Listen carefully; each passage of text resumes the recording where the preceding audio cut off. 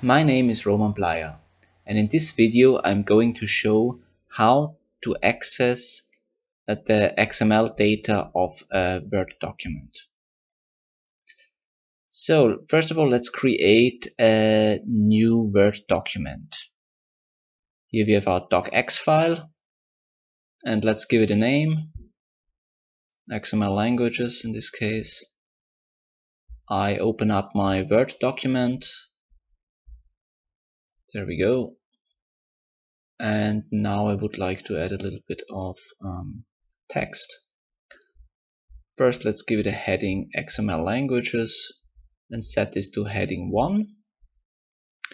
Next, I add a bit more text. Um, uh, let's make a list and let's make a list of um, XML languages. TEI, XHTML, SVG, and RDF. Now highlight them all and make an unordered list or an ordered list. Let's make an ordered list. So I save uh, the Word document and I close it. Now here we have our Word document. Next, what we want to do is basically a Word document is um, a zip file, but it has a docx extension, docx extension and that's the reason why uh, Word, Microsoft Word is opening it um, as default program. If we change the file extension to zip, we get first um, a message asking us if we really want to do this. We say yes. Uh, so if we change the file extension to zip file, to zip, um, we can open up um, a Microsoft Word file like a zip archive. And um, what we get is uh, a zip archive that we can extract and we get a folder full of uh, XML documents. So if we open up this folder now, we see there are subfolders in here and these subfolders contain XML files. So let's open up the Word subfolder and in here we have a bunch of um, XML documents and we want to open up the the file document.xml which um, contains basically um, the data we are looking for.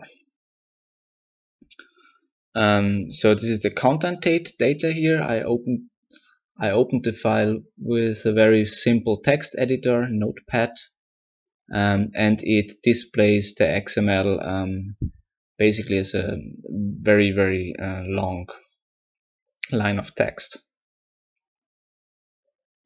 Um, so, but you can see at the very end here, there is the, the text that we added in.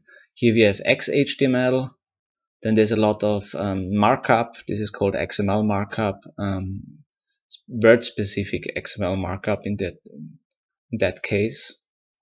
Um, here's TEI. And as you can see, TEI is uh, included in these um, these elements, XML elements.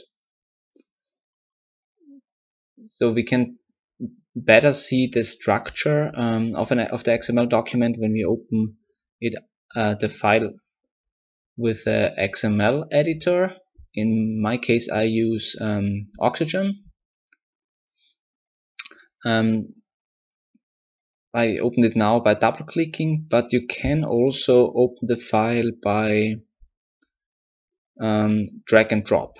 You can just simply drag and drop the, the XML file into Oxygen and it will open up. Mm, and in Oxygen you can see um, that the syntax is basically highlighted, the XML syntax, and here we have our heading XML languages and um, we can make out um, that there is a heading uh, that is basically a, a, heading by the by the markup that is surrounding it. So here we have paragraph style and and there is um, our paragraph style text that is encoded in paragraph style. TEI um, then we have here XHTML, SVG, and finally our RDF. So there is our um, there's our text and the markup surrounding it basically um, um, basically tells Word how to display our um, uh, the text. So if we close this now, let's not save anything. So we didn't do, we didn't make any changes. We can simply um, also close this, uh, also close the Explorer. Um, and